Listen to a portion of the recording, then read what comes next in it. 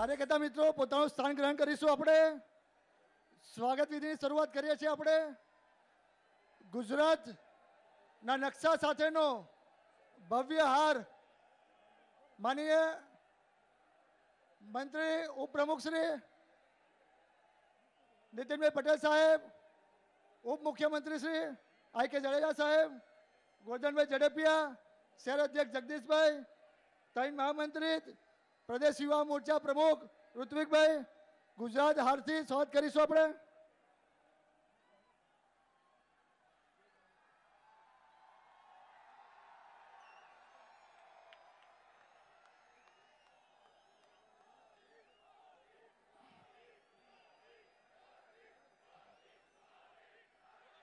ગુલાબના મોટા હારથી માન્ય પ્રદીપસિંહ જાડેજા સાહેબ, મેયરશ્રી, બંને સાંસદશ્રીઓ નેતાશ્રી, ચેરમેનશ્રીઓ સ્વાગત કરશે.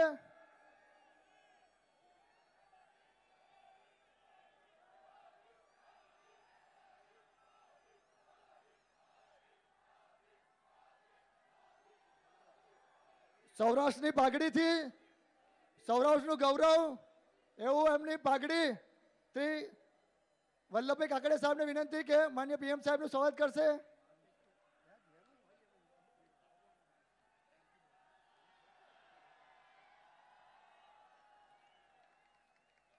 શહેર અધ્યક્ષ જગદીશભાઈ પટેલ પંચાલને વિનંતી કે તેઓ સંગઠન વતી ખેસ પહેરાઈને સ્વાગત કરશે.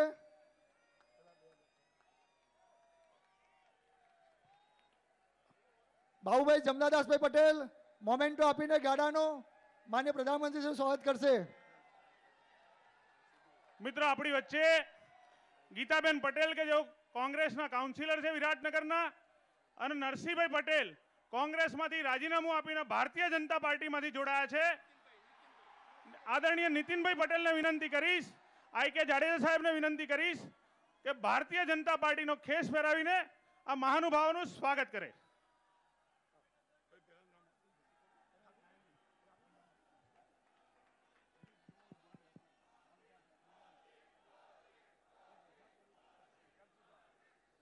ભારત માતા કે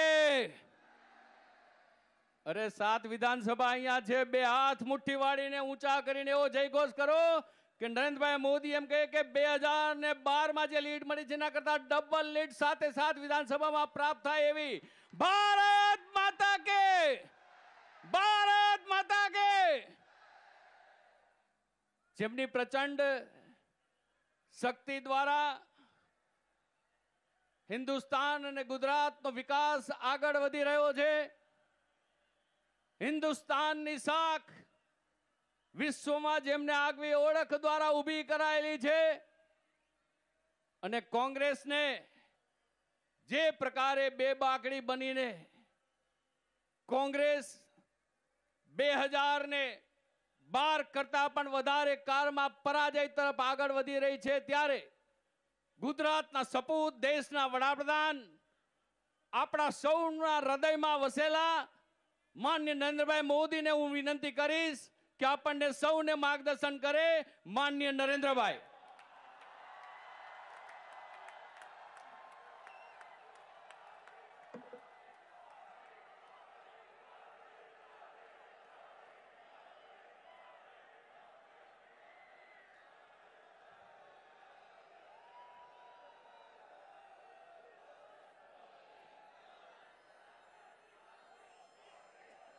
मंच पर विराजमान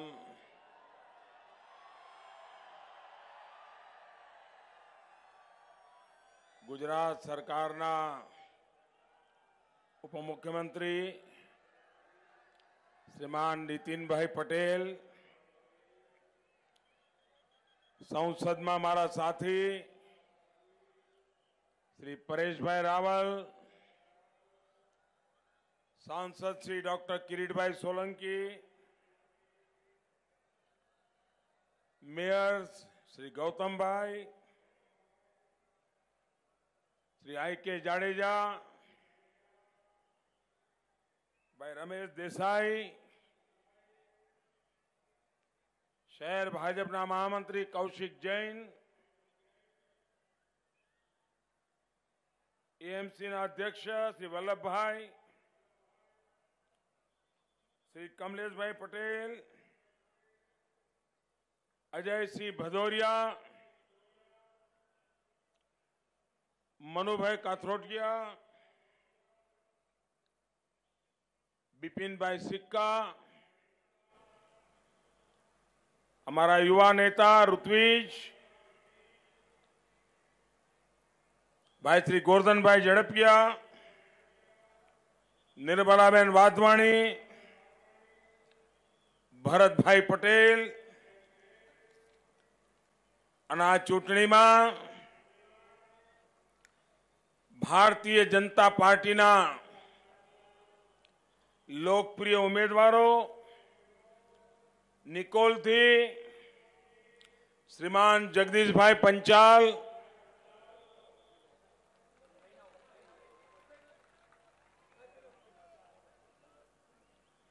વટવાથી પ્રદીપસિંહ જાડેજા, ઠક્કર બાપાનગરથી વલ્લભભાઈ કાકડિયા દસક્રોઈથી બાબુભાઈ પટેલ, બાપુનગરથી જગરૂપસિંહ રાજપૂત, અમરાઈવાડીથી હસમુખભાઈ પટેલ, નરોડાથી બલરામ થવાણી અને વિશાળ સંખ્યામાં પધારેલા મારા વાલા ભાઈઓ અને બહેનો.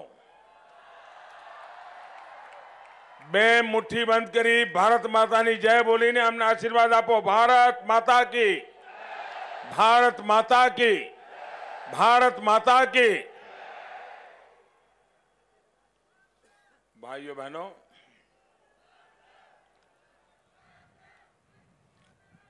આ ચૂંટણીમાં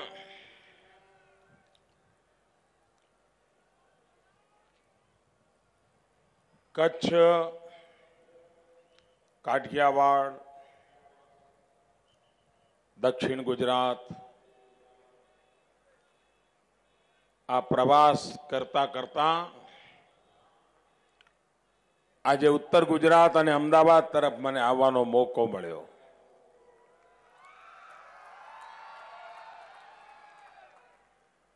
ભાઈઓ બહેનો, ચૂંટણીમાં જે જુવાળ મેં જોયો છે,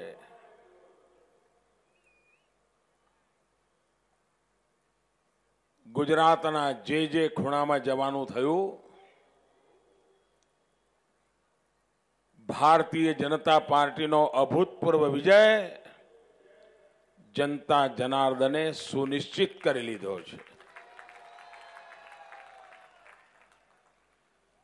આવતીકાલે નવમી તારીખે કચ્છ, સૌરાષ્ટ્ર અને દક્ષિણ ગુજરાત ત્યાં મતદાન થવાનું છે. અને ચૌદમી તારીખે આપ સૌને ગુજરાતનું ભાગ્ય નિર્ધારિત કરવાનો મોકો મળવાનો છે. આંગળીની તાકાત શું હોય છે?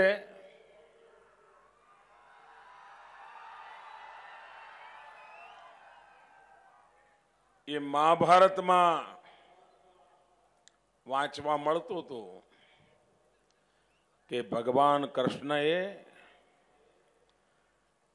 ટચલી આંગળીએ ગોવર્ધન ઉચક્યો હતો.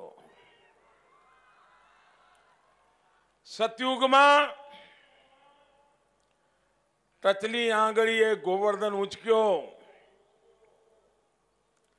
આજે ભાઈઓ બહેનો, મતદારની એક આંગળી ભારતનું ભાગ્ય બદલી શકે એટલી તાકાત આવી ગઈ છે. મતદાન મથક પર જઈને કમળના નિશાન પર બટન દબાવીને વિકાસનો માર્ગ ખુલ્લો કરવો એના માટેનો અવસર એટલે ચૌદમી તારીખે અને નવમી તારીખે મતદાન ભાઈઓ બહેનો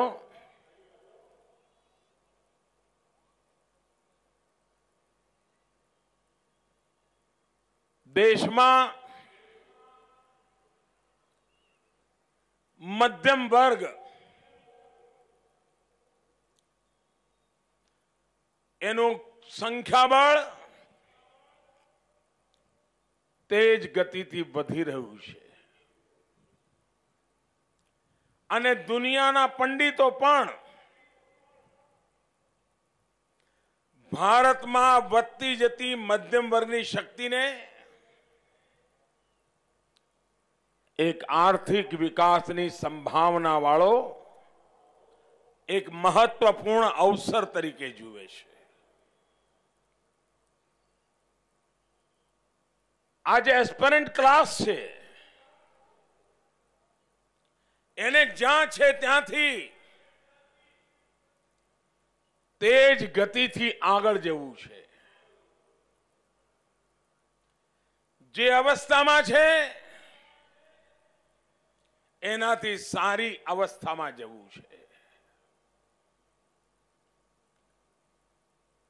આ દેશનો મધ્યમ વર્ગી માનવી કાયદા કાનૂનનું પાલન કરવાના સ્વભાવ વાળો નીતિ નિયમો બંધનોને સ્વીકારવાળો લોકલાજને મહત્વ આપનારો,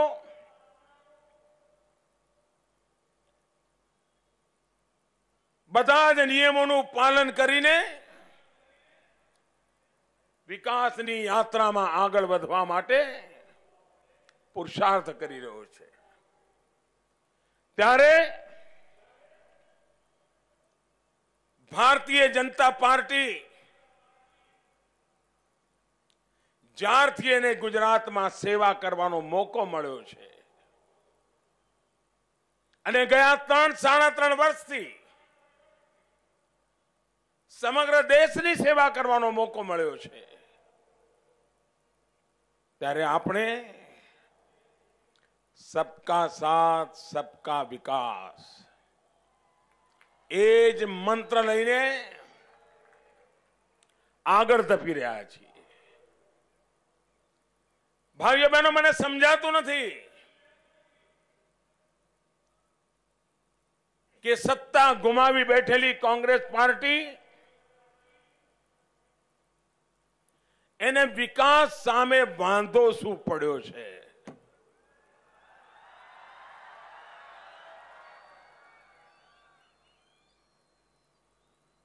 કોંગ્રેસને એમ લાગતું હોય કે ગુજરાતને એના ભૂતકાળના દિવસોમાં પાછું ધકેલી દેવું છે? ગુજરાતને ફરી એકવાર મુસીબતોની જંજાળમાં પધરાવી દેવું છે? તો કોંગ્રેસના લોકો કાન ખોલીને સાંભળી લે.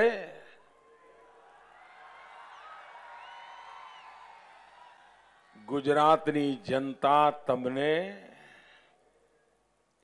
કોઈ કાળે ફરી સ્વીકારી શકવાની નથી, કારણ કે તમારી પાપ લીલાઓ ભાઈ ભાઈને લડાવવાના તમારા ખેલ, ગંદુ જાતિવાદનું રાજકારણ કરીને ગુજરાતના તાણા માણાને પીંખી નાખવા વાળી તમારી હરકતો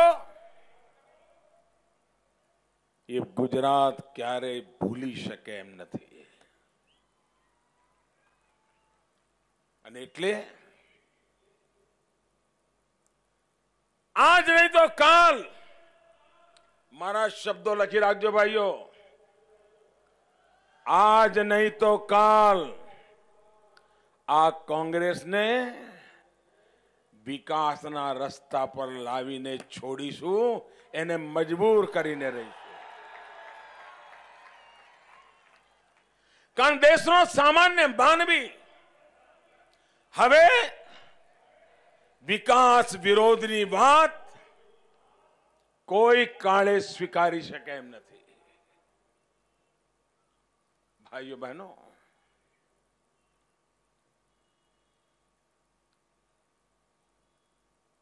દેશને જો આગળ વધારવો છે,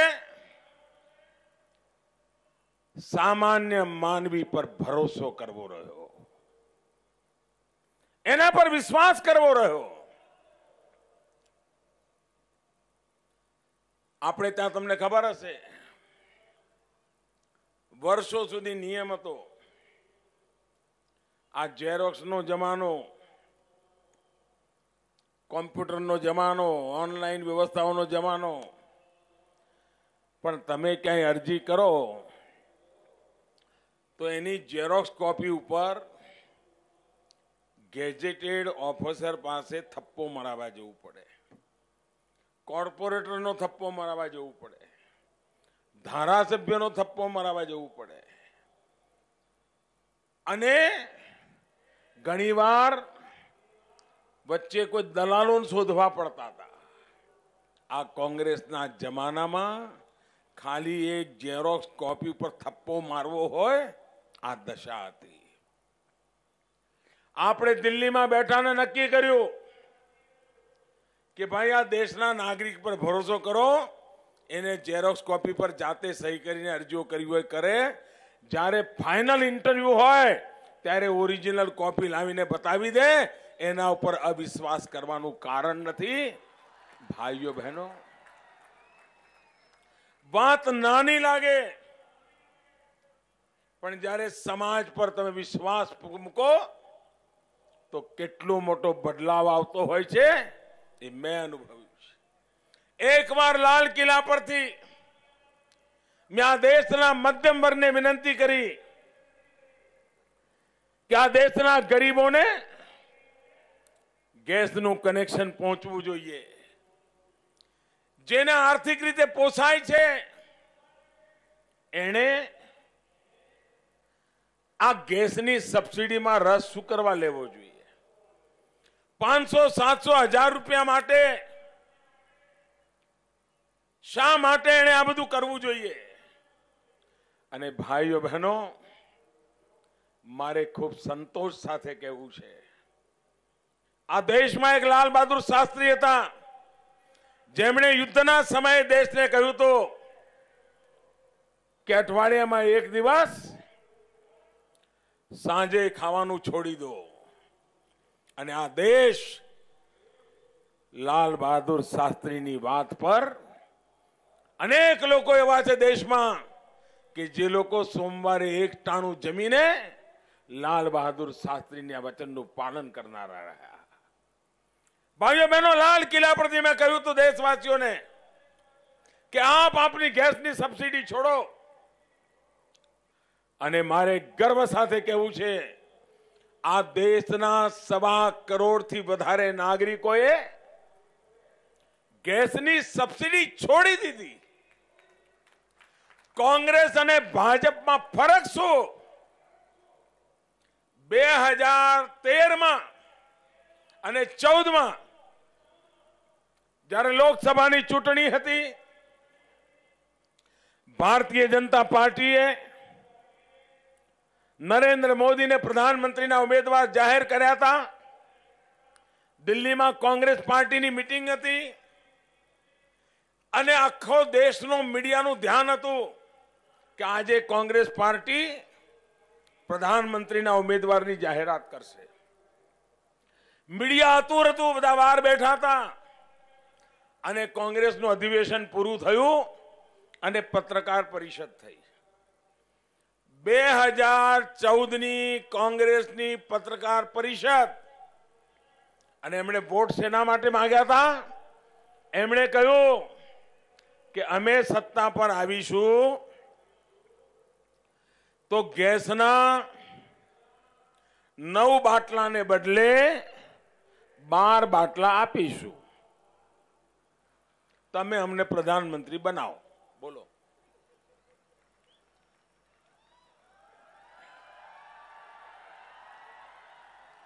નવ બાટલામાંથી બાર બાટલા. આ કોંગ્રેસની માનસિક સ્થિતિ શું છે? એનું દર્શન કરાવે છે.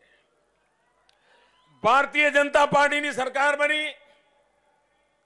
અમારો કોઈ ચૂંટણી ઢંઢેરામાં આવો કોઈ ચર્ચા નહોતી, ઉલ્લેખ નહોતો.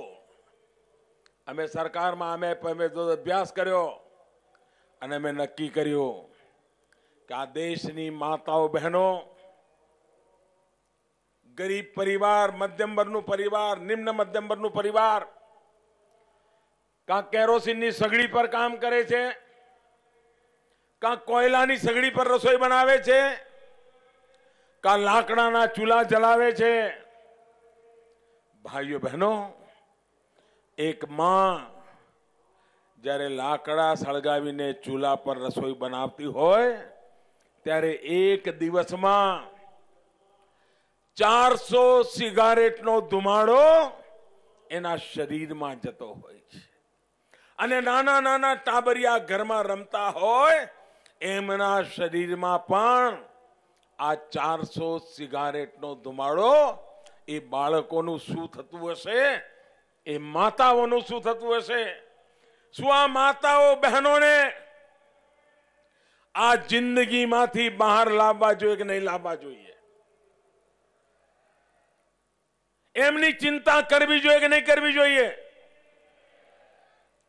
એમને આ ધુમાડાવાળી જિંદગીમાંથી મુક્તિ અપાવી જોઈએ કે નહીં અપાવી જોઈએ? ભાઈઓ બહેનો, ભારતીય જનતા પાર્ટીની સરકારે નક્કી કર્યું કે બે હજાર ઓગણીસ પહેલા પાંચ કરોડ ગરીબ પરિવારોમાં મફતમાં ગેસનું કનેક્શન પહોંચાડી દેવામાં આવશે અને મારે આજે સંતોષ સાથે કહેવું છે કે હજુ તો યોજનાને દોઢ વર્ષ પણ નથી થયું. સવા ત્રણ કરોડ પરિવારોમાં મફતમાં ગેસનું કનેક્શન પહોંચી ગયું. કોંગ્રેસ નવ બાટલા કે બાર બાટલામાં ફરતી હતી. ભારતીય જનતા પાર્ટી સાડા સવા ત્રણ કરોડ પરિવારોમાં મફતમાં ગેસના બાટલા પહોંચાડી દીધા ભાઈઓ. ગુજરાતે નક્કી કરવાનું છે.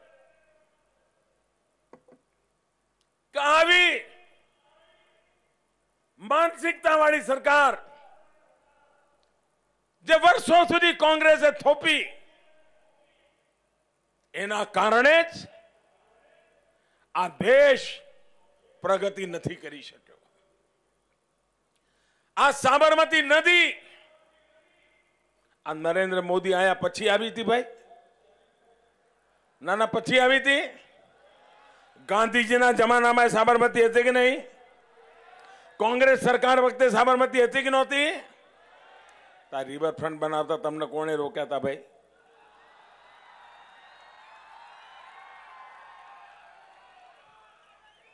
પણ સમજ. ભાઈઓ બહેનો, ખાટલે જ મોટી ખોટ હોય દિમાગ જ ચાલતું ના હોય તો આ કામ ક્યાંથી થાય ભાઈ? એના માટે તો દ્રષ્ટિ જોઈએ, નિર્ણય કરવાની શક્તિ જોઈએ અને ઈમાનદારીથી અમલીકરણ કરીને બતાવીએ, ત્યારે પરિણામ મળતું હોય છે અને એ અમે આપતા હોઈએ છીએ. ભાઈઓ બહેનો, કોંગ્રેસ પાર્ટી એની ઓળખાણ એટલે ત્રણ જ શબ્દોમાં કોંગ્રેસનું આખું વર્ણન થઈ જાય. કોંગ્રેસ એટલે અટકાના, લટકાના ઓર ભટકાના.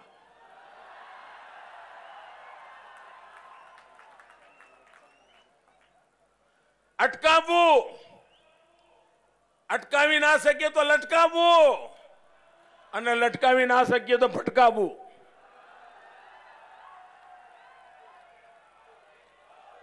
આપણે નક્કી કર્યું, ગુજરાતમાં જ્યારે હું મુખ્યમંત્રી હતો, ત્યારે નક્કી કર્યું કે પાઇપલાઇનથી ઘેર ઘેર ગેસ પહોંચાડીશું. અને ગુજરાતના બધા શહેરોમાં એટલું જ નહીં, જ્યાંથી પાઇપલાઇન જતી હોય અને ત્યાં કોઈ સ્મશાન હોય, તો અગ્નિ સંસ્કાર પણ લાકડાથી આપ કરવાને બદલે પર્યાવરણની રક્ષા માટે ગેસથી અગ્નિ સંસ્કાર થાય, એના માટે પણ ગેસ આપીશું. હવે આમાં કાંઈ ખોટું નહોતું. દિલ્હીની કોંગ્રેસની સરકારના પેટમાં એવું દુખ્યું કે મોદી જો આ કરશે, તો અમારે બીજા રાજ્યોમાં જવાબ આપવો પડશે. સાહેબ, એ કામ ન થવા દીધું. આડે આવ્યા. આપણે કોર્ટમાં જવું પડ્યું ગુજરાત સરકાર તરીકે મારે કોર્ટમાં જવું પડ્યું અટકાના લટકાના ભટકાના ભાઈઓ બહેનો ગુજરાતને રોયલ્ટી પેટ્રોલિયમ પેદાશમાં દેશમાં હિન્દુસ્તાનમાં સૌથી પહેલા તેલના કુવા સફળ થયા પચાસ વર્ષ પહેલા તો ગુજરાતની ધરતી પર થયા હતા. ખંભાતમાં થયા હતા. એ તેલની રોયલ્ટી અટલ બિહારી વાજપેયીની સરકારે ગુજરાતની વાત સ્વીકારીને તેલની રોયલ્ટી આપવા માટેની ફોર્મ્યુલા બનાવી. અટલજીની સરકાર હતી ત્યાં સુધી મળ્યું અને જેવી કોંગ્રેસની સરકાર આવી, એમાં તરત જ કાતર મારી દીધી અને ગુજરાતના હકને અટકાવી દીધો, લટકાવી દીધો. ગુજરાત સરકાર કોર્ટમાં ગઈ. કોર્ટમાં લડત લડી. લાખો રૂપિયાના ખર્ચે વકીલો રાખવા માંડ્યા. તો વાતને લટકાવવા માટે મુદતો જ લે, મુદતો જ લે, મુદતો જ લે. ભાઈઓ બહેનો, આપે મને પ્રધાનમંત્રી બનાવ્યો દિલ્હીમાં સરકાર બની.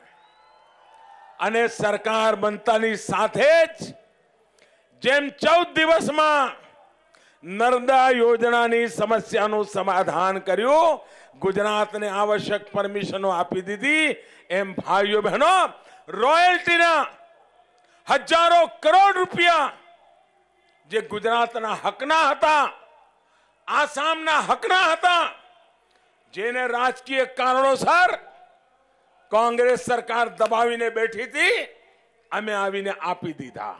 આપ મને કહો, ભાઈઓ બહેનો, આપણે ગુજરાતનું હિત કરવું છે કે નથી કરવું? પૂરી તાકાતથી જવાબ આપો, ગુજરાતનું હિત કરવું છે કે નથી કરવું? ગુજરાતના હિતોની રક્ષા કરવી છે કે નથી કરવી? ન્યાયી હક જે પણ રાજ્યનો હોય, એ રાજ્યને ન્યાયી હક મળવો જોઈએ કે ના મળવો જોઈએ? ગમે તે પાર્ટીની સરકાર હોય, એનો ન્યાયપૂર્ણ વ્યવહાર દિલ્હીની સરકારે કરવો જોઈએ કે ના કરવો જોઈએ? રાજકીય આટા પાટાઓથી મુક્ત થઈને કરવો જોઈએ કે નહીં કરવો જોઈએ? ભાઈઓ, બહેનો, વર્ષો પછી દિલ્હીમાં એવી સરકાર બેઠી છે કે જે કોઈ પણ રાજકીય ભેદભાવ વગર હિન્દુસ્તાનના બધા રાજ્યોને એના હકનું આપવા માટે કૃત સંકલ્પ છે. અને આપી રહી છે. ભાઈઓ, બહેનો, આપણા દેશમાં ભ્રષ્ટાચાર સામે મેં એક લડાઈ ઉપાડી છે. તમે મને કહો ભાઈ, ભ્રષ્ટાચારે આ દેશને બરબાદ કર્યો છે કે નથી કર્યો? પૂરી તાકાતથી બોલો, કર્યો છે કે નથી કર્યો? રાજકીય ભ્રષ્ટાચારે માજા મૂકી હતી કે નહોતી મૂકી? દિલ્હીમાં કોંગ્રેસની સરકારના મંત્રીઓ જેલોમાં હતા કે નહોતા? ભ્રષ્ટાચારના મુદ્દે જેલોમાં ગયા હતા કે નહોતા ગયા? શું આ દેશને ભ્રષ્ટાચાર ચાલવા દેવો છે? ખતમ કરવો છે કે નહીં? કોઈને નોકરીનો ઇન્ટરવ્યુ આવે ને ઇન્ટરવ્યુ તો થેલો લઈને કોઈક પહોંચી જાય. ગરીબમાં, વિધવા માં છોકરાને બિચારાને ઇન્ટરવ્યુ આવ્યું હોય. ડ્રાઈવરનું પટાવાળાનું ક્લાર્કનું અને પેલો ઝોલાવાળો પહોંચી જાય કે, માજી, અમે સાંભળ્યું છે કે બાબાને ઇન્ટરવ્યુ આવ્યો છે. અમે સાંભળ્યું છે કે બેબીને ઇન્ટરવ્યુ આવ્યો છે. હવે શું થશે કહો? તો માં કે ના છોકરો, જશે ઇન્ટરવ્યુ આપશે, નસીબમાં હશે, કહેશે. તો પેલા ભાઈ પાછા સમજાવે કે, ના ના, માજી એમ ઇન્ટરવ્યુમાં કઈ મેળ ના પડે. કોઈ ઓળખાણ પીછાણ છે? કોઈની સિફારશ છે? તો માજી કહે કે અમે તો ગરીબ માણસ, અમારું કોણ હોય ભાઈ? તો પેલો ઝોલા સાહેબ કહે કે નહીં માં હું તમારી ચિંતા કરીશ. ચાર દાડા પછી પાછો આવે. કે માજી, આ તો મારી, તમારા માટે દયા અને વિધવાનો દીકરો એને નોકરી મળે. એટલે મેં તપાસ કરી છે. બે લાખ રૂપિયા આપીએ તો મેળ પડી જશે. એટલે પેલા માજી બિચારા જમીન હોય તો ગીરવે મૂકે, દાગીનો પડ્યો હોય તો એ ગીરવે મૂકે, દેવું કરે અને પેલા ઝોલા છાપને બે લાખ આપે, દીકરાને નોકરી મળે આશામાં. હવે મને કહો ભાઈ, આ ઇન્ટરવ્યુ એવું તો કેવું વિજ્ઞાન છે કે ત્રણ જણા એક રૂમમાં બેઠા હોય, બાર બાર, દસ દસ, પંદર પંદર હજાર લોકોની લાઈન લાગી હોય એક દરવાજાથી પેલો ઘૂસે. કોઈ એક સેકન્ડ પાંચ સેકન્ડમાં કંઈક પૂછે. બીજા દરવાજે નીકળી જાય. એનું નામ ઇન્ટરવ્યુ થઈ ગયું. આમની પાસે કોઈ મશીન છે કે એમને ખબર પડે કે આ માણસ સારો છે ને આ ખરાબ છે ભાઈ? આ પોલમ પોલ હતું કે નહીં? આ પોલમ પોલ હતું કે નહીં? આ ધુપ્પલ ચાલતું હતું કે નહીં? ભાઈઓ બહેનો, એ રૂપિયાની કટકી કરવાનો કાર્યક્રમ હતો. ઇન્ટરવ્યુના નામે પોતાના પસંદગીના લોકોને બેસાડવાના અને લોકો પાસેથી રૂપિયા મારવાના, એ જ કામ હતું. અમે દિલ્હીમાં આવીને કામ કર્યું. હિંમતભરો નિર્ણય કર્યો. સરકારમાં વર્ગ ત્રણ અને ચાર, એના ઇન્ટરવ્યુ બંધ, એના કોમ્પ્યુટર પર જે એના માર્ક આવ્યા હોય, એનું લિસ્ટ બને અને કોમ્પ્યુટર જ નક્કી કરે કે પહેલા પાંચ હજાર ને નોકરી મળી જશે. કોઈ ઇન્ટરવ્યુના ખર્ચા નહીં ભ્રષ્ટાચાર નહીં ભાઈઓ ભાઈઓ બહેનો, કેવા ખેલ ચાલે? તમે મને કહો કે મોટો મોલ હોય એર કન્ડિશન મોલ હોય, બધા અંગ્રેજી પૂછ બોલવા વાળા બેઠા હોય, અને બહાર બધી મોંઘી મોંઘી ગાડીઓ આવતી હોય, એ મોલ રાત્રે બાર વાગે પણ ચાલુ રહે, કોઈ પૂછે નહીં. રાત્રે બે વાગે પણ ચાલુ રહે, કોઈ પૂછે નહીં. શનિવાર, રવિવાર ચાલુ રહે, કોઈ પૂછે નહીં. અને કોઈક નાનો દુકાનદાર પાનનો ઠેલાવાળો, કરિયાણાની દુકાનવાળો, આ નિકોલમાં કે વટવામાં કે બાપુનગરમાં કે ઠક્કર બાપાનગરમાં નાનકડી દુકાન ચલાવતો હોય, તો પેલો દંડો લઈને આવી જાય. દુકાન બંધ કરો. આઠ વાગી ગયા છે. આવું થતું હતું નહોતું થતું? આવું થતું તો નહોતું થતું. ચાની કેટલી લઈને બેઠો હોય? પેલો આવે. બંધ કરો. ભાઈઓ બહેનો, દિલ્હીમાં સરકાર બન્યા પછી મેં આખા દેશ માટે કાનૂન બનાવ્યો કે ગરીબમાં ગરીબ માણસ, નાનો વેપારી પણ દુકાન ચલાવતો હશે. એને ચોવીસ કલાક ખુલ્લી રાખવી હોય તો રાખી શકશે, કોઈ જઈને દંડો નહીં પછાડી શકે. એને સાતે દિવસ ચલાવીએ તો ચલાવી શકશે. એને ત્રણસો દિવસ ચલાવીએ તો ચલાવી શકશે. કોઈ આવીને એને પરેશાન નહીં કરે, એ પોતે મહેનત કરીને કમાય. અને એનું પરિણામ એ આવ્યું કે જે દુકાનમાં એક ગુમાસ્તો હતો, વધારે સમય દુકાન ચાલવાના કારણે આજે બબે ગુમાસ્તા રાખવા માંડ્યા. છોકરાઓને નોકરીઓ મળવા માંડી, કામ મળવા માંડ્યું. ભાઈઓ, નિયમ કેવી રીતે બદલાય છે? એ આનાથી ખબર પડે. આપણે ત્યાં માતાઓ બહેનો હમણાં અમેરિકાના રાષ્ટ્રપતિની દીકરી અહીં આવી હતી, હૈદરાબાદમાં. એ અમેરિકાના રાષ્ટ્રપતિના સલાહકાર છે. તો ભારતમાં મહિલાઓની બાબતમાં ચર્ચા ચાલતી હતી.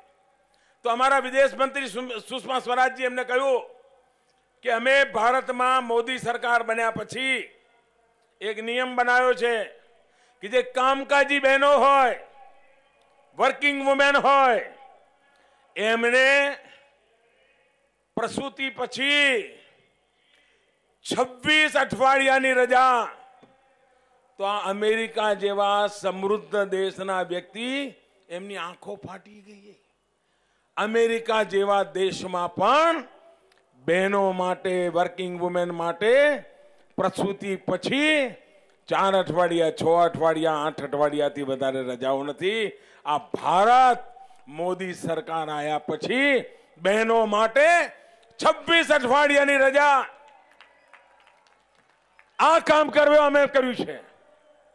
ભાઈઓ, બહેનો, સામાન્ય માનવીને આ દેશમાં આટલી બધી સરકારો આવી, મધ્યમ વર્ગનો માનવી જે ઈમાનદારીથી જીવે છે, ઈમાનદારીથી કામ કરે છે, એને બિચારાને ઘરનું ઘર બનાવવું હોય તો સાંસા પડી જાય. પહેલી વાર, દેશમાં પહેલી વાર અમે નિર્ણય કર્યો છે કે સામાન્ય પરિવાર અમારો મધ્યમ વર્ગ, નિમ્ન મધ્યમ વર્ગ. નવ લાખ રૂપિયાનું એને મકાન બનાવવાનું હોય, ફ્લેટ બનાવવાનો હોય. અને બેંકમાંથી લોન મળશે. લોન મળશે એટલું જ નહીં. એમાં ચાર ટકા વ્યાજ ઓછું લેવામાં આવશે અને ચાર ટકા વ્યાજ ભારત સરકારની તિજોરીમાંથી ભરવામાં આવશે. તેથી અમારો સામાન્ય માનવી ઘર બનાવીશ.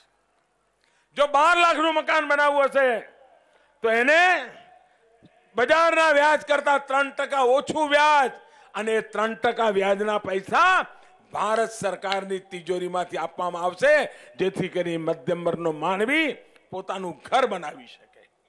ભાઈઓ બહેનો, વિકાસ એક જ મુદ્દો લઈને દેશને નવી ઊંચાઈઓ પર લઈ જવાનો મેં પ્રયાસ કર્યો છે. આપ મને કહો ભાઈઓ બહેનો, આજે સંપૂર્ણ વિશ્વમાં અને હું તમારી પાસેથી જવાબ સાંભળવા માંગુ છું. આજે સંપૂર્ણ વિશ્વમાં ભારતનો જય જયકાર થઈ રહ્યો છે કે નથી થઈ રહ્યો? ભારતનો ડંકો વાગે છે? અમેરિકામાં વાગે છે? ઇંગ્લેન્ડમાં વાગે છે? જપાનમાં વાગે છે? જર્મનીમાં વાગે છે? શ્રીલંકામાં વાગે છે? બાંગ્લાદેશમાં વાગે છે? શેના કારણે? નાના દુનિયામાં ભારતનો જય જયકાર કેમ થાય છે ભાઈ? કયા કારણે? કયા કારણે? અરે મોદીના કારણે નહીં, આ તમારા બધાના કારણે શક્ય બન્યું છે. સવાસો કરોડ હિન્દુસ્તાનીઓના કારણે શક્ય બન્યું છે. દુનિયાનો મોટામાં મોટો નેતા તાકતવર તાકતવર દેશનો નેતા પણ જ્યારે નરેન્દ્ર મોદી જોડે હાથ મિલાવે છે ને, ત્યારે એને નરેન્દ્ર મોદી નથી દેખાતા. જ્યારે એ નરેન્દ્ર મોદી જોડે હાથ મિલાવે છે, ત્યારે એને સવાસો કરોડ હિન્દુસ્તાની દેખાતા હોય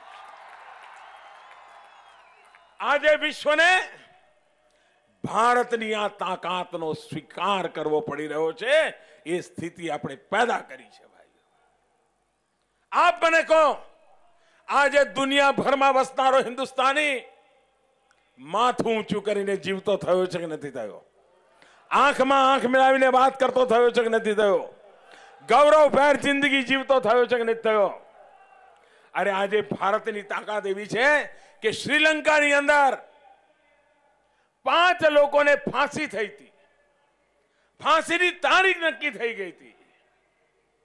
આ ભારતની કૂટનીતિક તાકાત હતી કે પાંચે લોકોને ફાંસીના માછડેથી ઉતારીને હિન્દુસ્તાનમાં પાછા લાવીને એમના પરિવારને સુપ્રત કરી દીધા ભાઈ. ડોકલામ થયું ડોકલામ. સિત્તેર દિવસ દેશમાં ઘણા લોકોના શ્વાસ અદ્ધર થઈ ગયા હતા. ઓગણીસો ને બાસઠ ને યાદ કરાવતા હતા. અને અહીંયા લોકો કહેતા, મોદીજી, કઈ ગડબડ તો નહીં થાય ને? અને દેશને ભરોસો તો કે દિલ્હીમાં એક એવી સરકાર બેઠી છે, જે દેશ હિતને ક્યારે પણ બાજુમાં નહીં મૂકવા દે જ્યારે કોંગ્રેસ પાર્ટીના નેતાઓ ડોકલામમાં શું ચાલે છે એ જાણવા માટે ચીનના નેતાઓને મળતા હતા. ચીનના નેતાઓને ભારતની સરકારને મળવાની એમને ફુરસદ નહોતી ભાઈઓ. આવા લોકોને માફ કરી શકાય? કરી શકાય?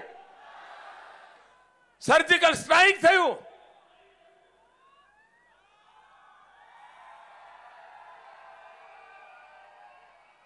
પાકિસ્તાનને ઘરમાં જઈને આપણી સેનાના લોકોએ ધોળા દિવસે તાળા બતાવી દે, એવી સ્થિતિ પેદા કરી દીધી. ભાઈઓ બહેનો, કોંગ્રેસને એમાં વાંધો પડ્યો. એમ કે પાછા કે પાકિસ્તાન તો ના પાડે છે. તો પાકિસ્તાન હા પાડે ભાઈ? ના ના, આપણે જઈને ગયા હોઈએ તો પાકિસ્તાન હા પાડે? આ એમની દલીલો તો જુઓ. હિન્દુસ્તાનના એક અંગ્રેજી છાપાએ લખ્યું હતું કે સર્જિકલ સ્ટ્રાઇક પછી ટ્રકો ભરી ભરીને મળદા લઈ જતી હતી પાકિસ્તાન સરકાર. ટ્રકો ભરી ભરીને મળદા લઈ જતી. કોંગ્રેસ વાળા એટલે હદે ગયા, પૂછે, તો ભારતનો એકે મર્યો નહીં? ના ના અમારે મરવું જરૂરી જ ભાઈ. ના ના અમારા વીર પુરુષો મર્યા વગર પરાક્રમ ન કરી શકે?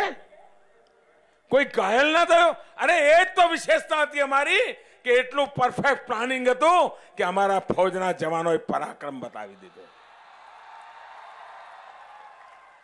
આપ મને કહો ભાઈઓ, આપણા ગુજરાતના, અમરનાથના યાત્રીઓને જ્યારે હું અહીંયા મુખ્યમંત્રી હતો અને દિલ્હીમાં મનમોહનસિંહજી પ્રધાનમંત્રી હતા, સોનિયાબેનની સરકાર ચાલતી હતી ત્યારે ત્યારે ગુજરાતના અમરનાથ યાત્રીઓને આતંકવાદીઓએ માર્યા હતા કે નહોતા માર્યા?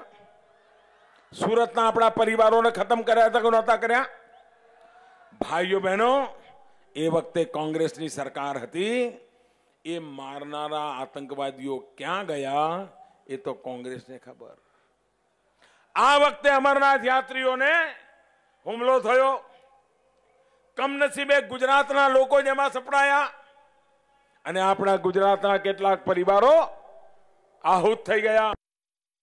ભાઈઓ બહેનો અમે નક્કી કરીને બેઠા હતા અને તમે ટીવી પર છાપામાં જોયું હશે, ગુજરાતના અમરનાથના યાત્રીઓ પર હુમલો કરનાર એક પણ આતંકવાદી જીવતો નથી, ભાઈઓ. વીણી, વીણીને સાફ કરી દીધા. વીણી મીણીને સાફ કરી દીધા.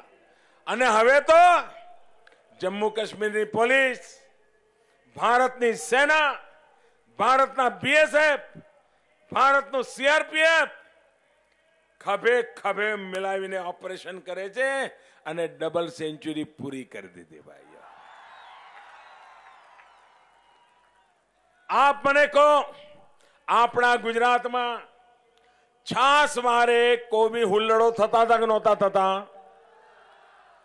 કોઈને સૌરાષ્ટ્રમાંથી અહીંયા આવવું તો ફોન કરવો પડે કે ભાઈ કરફ્યુ બરફ્યુ તો નથી ને એવું હતું નહોતું? વાત વાતમાં ઝઘડા થતા કે નહોતા થતા? પતંગના મુદ્દે હુલ્લડો થતા હતા કે નહોતા થતા? મહિનાઓ સુધી કરફ્યુ રહેતો હતો કે નહીં? ભાઈઓ બહેનો, એ દિવસો ગયા કે ન ગયા? ગયા કે ન ગયા? અરે સામાન્ય માનવીને સલામતી જોઈએ અને સરકારમાં દમ હોય તો સલામતી આવતી હોય છે અને અમે ભાજપ વાળા લાવીને બતાવ્યું છે. ભાઈઓ બહેનો, હું જરા આપને પૂછવા માંગુ છું. હું અહીંયા લગભગ તેર ચૌદ વર્ષ મુખ્યમંત્રી તરીકે આપની જે કઈ ઈશ્વરે મને બુદ્ધિ શક્તિ આપી સેવા કરતો રહ્યો. આપે મને મારા કામના આધારે દિલ્હીમાં મોકલીને સવાસો કરોડ દેશવાસીઓની ભારત માતાની સેવા કરવાનું કામ સોંપ્યું. સત્તર અઢાર વર્ષ એક ધારું મારે આપને પૂછવું છે, મારા કાર્યકાળ દરમિયાન આ નરેન્દ્ર મોદીએ, ચાહે મુખ્યમંત્રી હોય કે પ્રધાનમંત્રી હોય, એવું એક પણ કામ કર્યું છે કે જેના કારણે તમારે નીચું જોવું પડે. એક પણ એવું કામ કર્યું છે કે જેમાં ગુજરાતને નીચા જોણું થાય. એક પણ એવું કામ કર્યું છે જેમાં હિન્દુસ્તાનને નીચા જોણું થાય. કોંગ્રેસના નેતા અને સામાન્ય નેતા નહીં. મનમોહનસિંહજીની સરકારના મંત્રી રહેલા.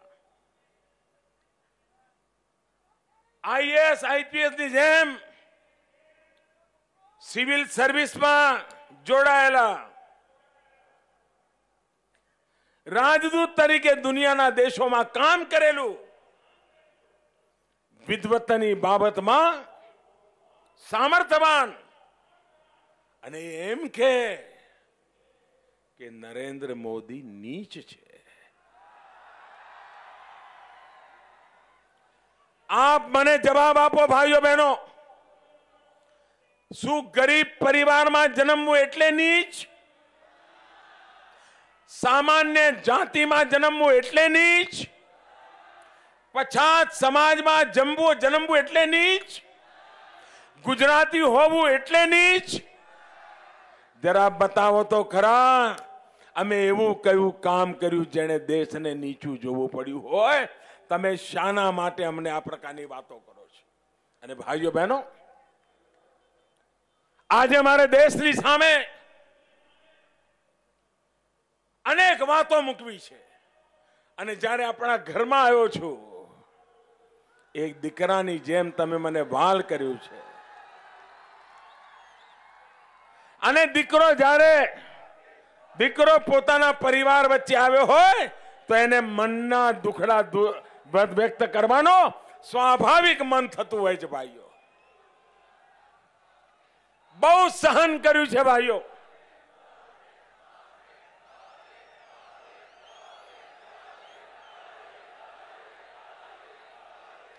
અને કોઈ અંગત સ્વાર્થ માટે નહીં હું જરા પૂછવા માંગુ છું. આજે હું એમનો દસ્તાવેજ અને આખો નહીં, દસ ટકા જ આજે તમારી સામે મૂકવા માંગુ છું. મૂકું? મૂકું? કોંગ્રેસના નેતાઓ, ગઈકાલે જ આ મોદી તો નીચ છે, એ પહેલી વાર નથી બોલ્યા. ખુદ સોનિયાબેન ગાંધી ભૂતકાળમાં મારા માટે આ શબ્દો પ્રયોગ કરી ચૂક્યા છે. એમના પરિવારના સદસ્યો મારા માટે આ શબ્દો પ્રયોગ કરી ચૂક્યા છે. ભાઈઓ બહેનો, ગુજરાત એમને આંખમાં કણાની જેમ ખૂંચે છે. સરદાર વલ્લભભાઈ પટેલ હોય, મોરારજીભાઈ દેસાઈ હોય કે નરેન્દ્ર મોદી હોય, ગુજરાતી માત્ર કોંગ્રેસ પાર્ટી માટે આંખમાં કણાની જેમ ખૂંચે છે. અને એટલે જ કોઈ ને કોઈ રીતે એમનો ગુસ્સો પ્રગટે છે. કોઈ મને કે, આ સોનિયાબેને ગુજરાતના ચૂંટાયેલા મુખ્યમંત્રી બે તૃતીયાંશ બહુમતી સાથે વિધાનસભામાં બેઠેલા મુખ્યમંત્રી એ નરેન્દ્ર મોદીને મોતના સોદાગર કહ્યા હતા કે નહોતા કહ્યા જરા જવાબ આપો જે લોકો આજે કોંગ્રેસના એક વ્યક્તિને સજા કરીને પોતે ઉજળા થવા નીકળ્યા છે એટલે મારે કહેવું પડે છે. શ્રીમાન રાહુલ ગાંધી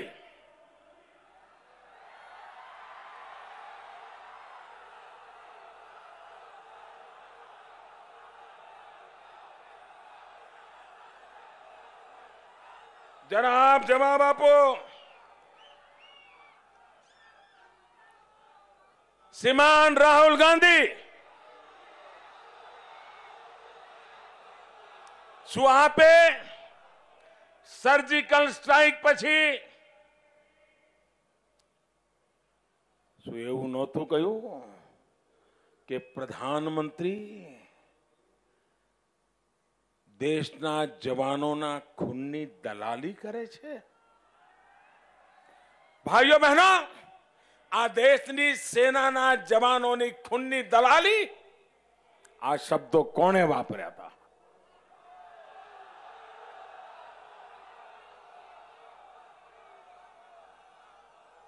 અમે ચૂપ રહ્યા અમે સહન કરતા રહ્યા એટલે તમે દુનિયાને ઉઠા ભણાવવા નીકળ્યા છો ભાઈઓ બહેનો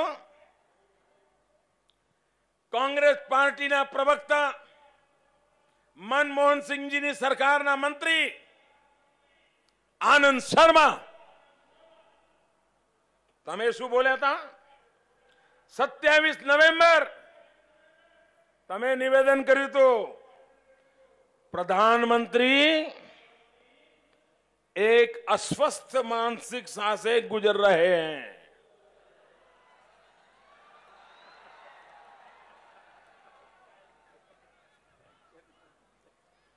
અને એટલું જ નહીં. એમણે એમ કહ્યું, આ પ્રધાનમંત્રીનું મગજ ગયું છે, અસ્વસ્થ છે, બીમાર છે. આ એક રાષ્ટ્રીય સમસ્યા છે. આનંદ શર્મા, તમારી પાર્ટીના રાજ્યસભાના સર્વે સર્વા, તમારી સરકારના મંત્રી એમણે મોદીને ગાળ દીધી છે.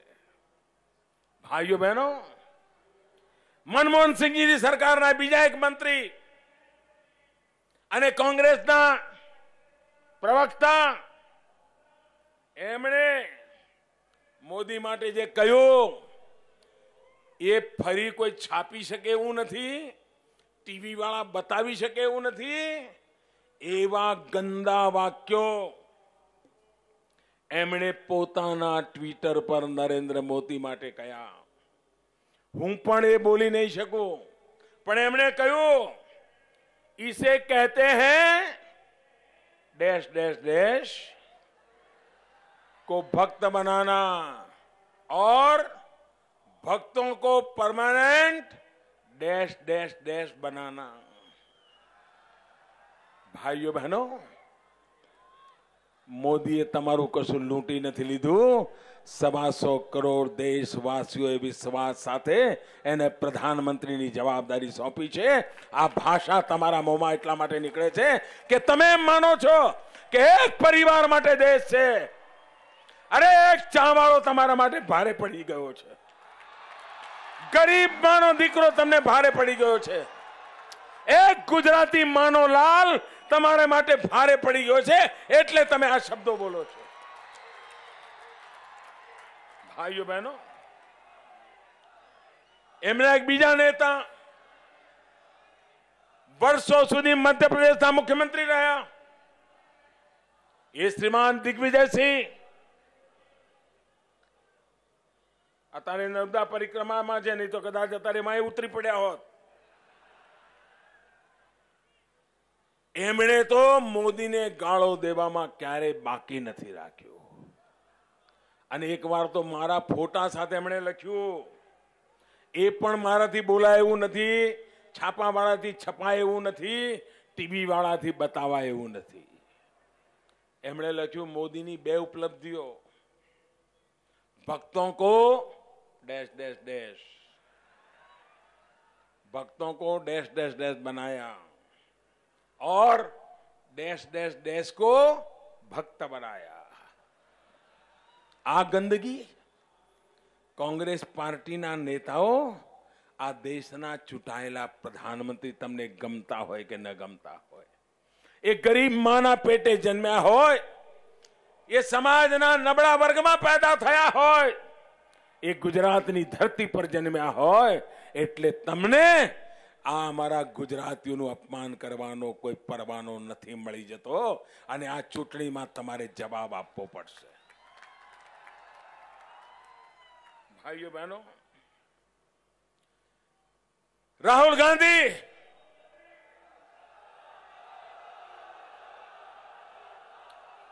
તમારા પૂજ્ય માતુશ્રી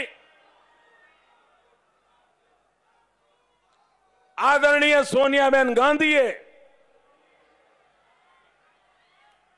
ચૂંટણી દરમિયાન નિવેદન કર્યું કે આ તો ઝેરની ખેતી કરે છે, ઝેરની ખેતી અને દેશ આ ઝેરની ખેતી કરનારાને જીતાડે નહીં, આની તમે અપીલ કરી હતી. ભાઈઓ બહેનો, શું લોકતંત્રમાં આ ભાષા? અમે ઝેરની ખેતી કરીએ છીએ આ તમારા શબ્દો છે. અને તેમ છતાંય ભાઈઓ બહેનો, મારા સંસ્કાર જુદા હતા. અને મારે દેશ માટે કામ કરવું છે. ગરીબોનું કલ્યાણ કરવું છે. એટલે આ બધી બાબતોમાં સમય બગાડ્યા વગર હું સીધી લીટીમાં ચાલતો રહ્યો. પણ તમે તમે આજે જ્યારે આ બધું ખોલીને બેઠા છો, તો હવે તમારે સાંભળવું પડશે. ભાઈઓ બહેનો,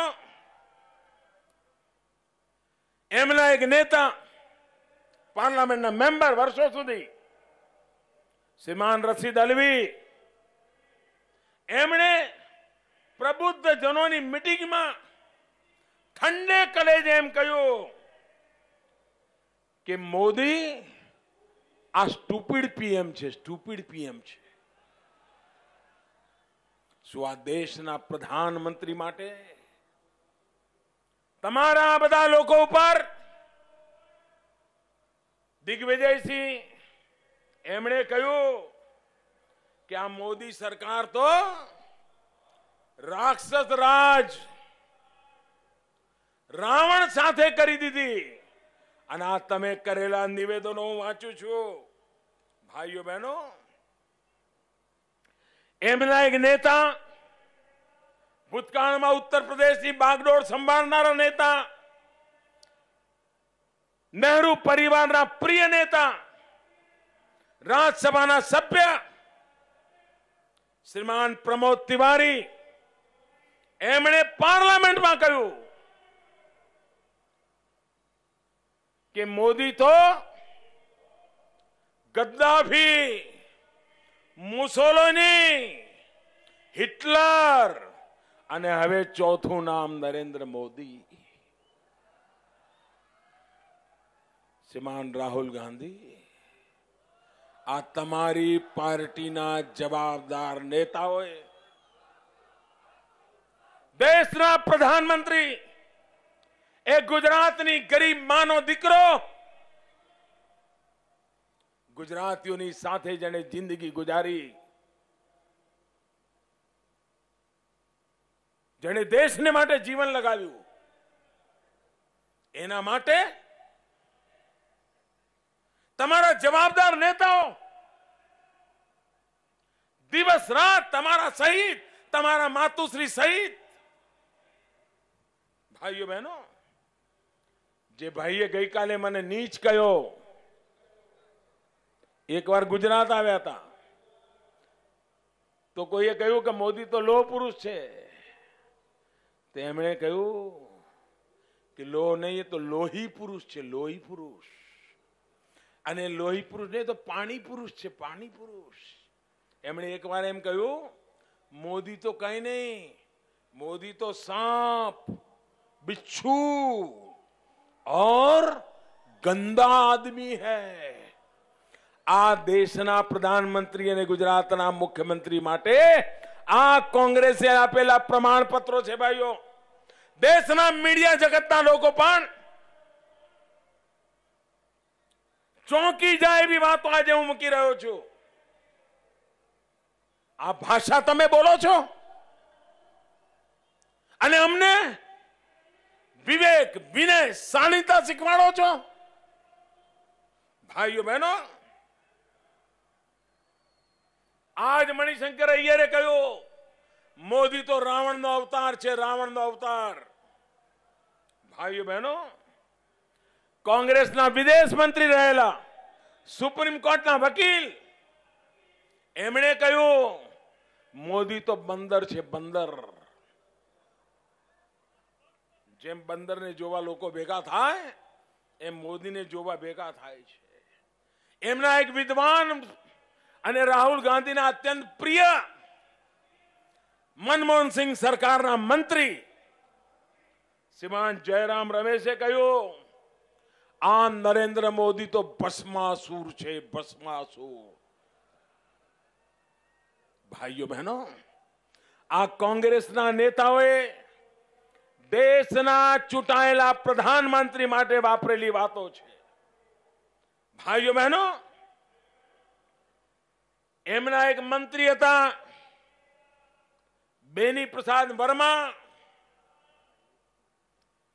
મનમોહનસિંહ સરકારના મંત્રી હતા અને જ્યારે લોકસભાની ચૂંટણી ચાલતી હતી તેમણે કહ્યું કે આ નરેન્દ્ર મોદી તો પાગલ કુત્તા હૈ પાગલ કુત્તા અને એમણે કહ્યું लोकतंत्र के मंदिर में इस पागल कुत्ते को हम घुसने नहीं देंगे ભાઈઓ બહેનો એમના મહત્વના નેતા રાજ્યસભાના લીડર જમ્મુ કાશ્મીરના મુખ્યમંત્રી રહેલા. અને આજે રાહુલ ગાંધીના તદ્દન વિશ્વાસો. એમણે કહ્યું કે મોદી તો ગંગુ તેલી હૈ, કહા ગંગુ તેલી, કહા રાજા ભોજ. ભાઈઓ બહેનો, આપ મને કહો, શું સાર્વજનિક જીવનમાં કોંગ્રેસના જવાબદાર નેતાઓની ભાષાઓ એક માણસ માટે અને મારો ગુનો આટલો જ કે મેં દેશની જનતાનો વિશ્વાસ જીત્યો છે. મારો ગુનો આટલો જ કે મેં તેર, ચૌદ વર્ષ સુધી દિવસ રાત જોયા વિના મારા ગુજરાતની સેવા કરી છે. અને એટલા માટે એટલા માટે, ભાઈઓ બહેનો, એમના એક નેતા, જેમને આ વખતે પણ એમને લોક, વિધાનસભાની ચૂંટણી લડાવી ઉત્તર પ્રદેશના ઇમરાન મસૂદ. એ વખતે તેને સસ્પેન્ડ કરવાનું નાટક કર્યું હતું અને હમણાં ચૂંટણી લડાવી. એ એણે કહ્યું, અમે મોદીના ટુકડે ટુકડા કરી નાખીશું.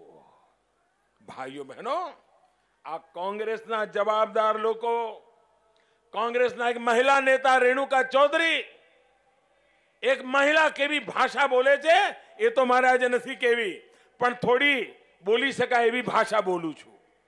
એમણે કહ્યું, મોદી તો વાયરસ છે. જેમ ન્યુમોનિયા એક વાયરસ હોય છે, એમ નમોનિટીસ વાયરસ છે. નમોનિટીસ ભાઈઓ, બહેનો, કોંગ્રેસના ગુજરાતના નેતાઓએ તો ક્યારે પાછું વાળીને જોયું નથી, એમના શબ્દોનો તો ઉલ્લેખ ન કરું તો સારું. મનીષ તિવારી, મનમોહનસિંહજીના મંત્રી હતા.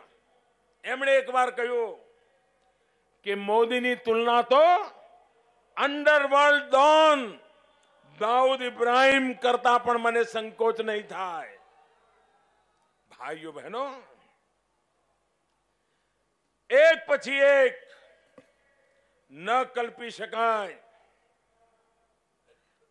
सांप बिच्छू चाय वाला लव पुरुष नीच राजनीति करने वाला नीच गंदी नाली का कीड़ा, पागल कुत्ता, नपुसंक, भस्मासुर, बंदर, औरंगज़ेब मेंटली रिटार्टेड अनपढ़, रावण, यमराज, ये सारे उपाधियाँ। भाइयों बहनों, आप बने को भाई, आमा शालीनता छे। વિવેક છે, મર્યાદા છે, લોકતંત્રની ઇજ્જત છે. દેશના ચૂંટાયેલો મુખ્યમંત્રી હોય, દેશનો ચૂંટાયેલો પ્રધાનમંત્રી હોય, અને આ તો મેં જે કહ્યું છે, દસ જ ટકા છે. તમે મને કહો ભાઈઓ, આમાંની એક ગાળ તમને કોઈ દીધી હોય, તો તમે શું કરો? તમે શું કરો? ભાઈઓ બહેનો જાહેર જીવનમાં અમારી શાલીનતાને લલકારવાનું બંધ કરો. અમારા વિવેક મર્યાદાને લલકારવાનું બંધ કરો. ભાઈઓ, બહેનો, હું સૌ ગુજરાતવાસીઓને કહેવા માંગુ છું. આવતીકાલે જે લોકો મતદાન કરવાના છે, એમને પણ કહેવા માંગુ છું. અને ચૌદમી તારીખે તમે લોકો મતદાન કરવાના છો, આપને પણ કહેવા માંગુ છું. કોંગ્રેસ પાર્ટી એ ગઈ શતાબ્દીની પાર્ટી છે ભાઈઓ આખા દેશમાં આસામમાં જાઓ કોંગ્રેસ ગઈ मणिपुर जाओ कांग्रेस गई अरुणाचल प्रदेश जाओ कांग्रेस गई नागालैंड जाओ कांग्रेस गई सिक्किम जाओ कांग्रेस गई आंध्र कांग्रेस गई, तेलंगाना कांग्रेस गई, ओडिशा कांग्रेस गई, गोवा कांग्रेस गई, तमिलनाडु कांग्रेस गई केरल में कांग्रेस गई महाराष्ट्र में कांग्रेस गई गुजरात में कांग्रेस गई मध्य प्रदेश में गई छत्तीसगढ़ में गई राजस्थान में गई झारखंड में गई, उत्तर प्रदेश में गई उत्तराखंड में गई। જમ્મુ કાશ્મીરમાં પણ ગઈ. ભાઈઓ બહેનો, આખો દેશ જેમને કાઢવામાં તૂટી પડ્યો છે, એને ગુજરાતમાં કોઈ જગ્યા હોય કે? એને સ્વીકારી શકાય કે? અરે જે ઉત્તર પ્રદેશમાં તમારી પાંચ પાંચ પેઢી ઉત્તર પ્રદેશમાં નેતાગીરી કરતી રહી. તમારા પરિવારના બધા પ્રધાનમંત્રીઓ ત્યાંથી આવ્યા. ત્યાંથી ઉત્તર પ્રદેશની જનતાએ, અરે તમારો સફાયો કરી નાખ્યો, સફાચટ કરી નાખ્યા. ભાઈઓ બહેનો, ગુજરાત ક્યારે ભૂલ નહીં કરે. અને એટલે જ આ પ્રકારની માનસિકતા વાળાઓને એક જ જવાબ છે. નવમી તારીખે, ચૌદમી તારીખે કમળના નિશાન પર બટન દબાવીને એકસો પચાસ કરતા વધારે ભારતીય જનતા પાર્ટીના લોકોને વિજયી બનાવો આ બધા અમારા સાથીઓને વિજયી બનાવો મારી સાથે મુઠ્ઠી બંધ કરીને બોલો ભારત માતા કી ભારત માતા કી ભારત માતા કી ધન્યવાદ